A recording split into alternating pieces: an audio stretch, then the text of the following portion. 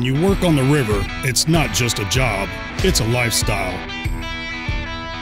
It takes grit, drive, and determination.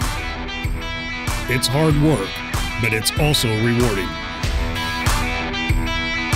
Ingram offers competitive wages, comprehensive benefits, and we treat our people like family, not just a number. And the safety of our associates is always priority number one. You have what it takes to be river proud? Be a part of something special. Be a part of the best team on the river.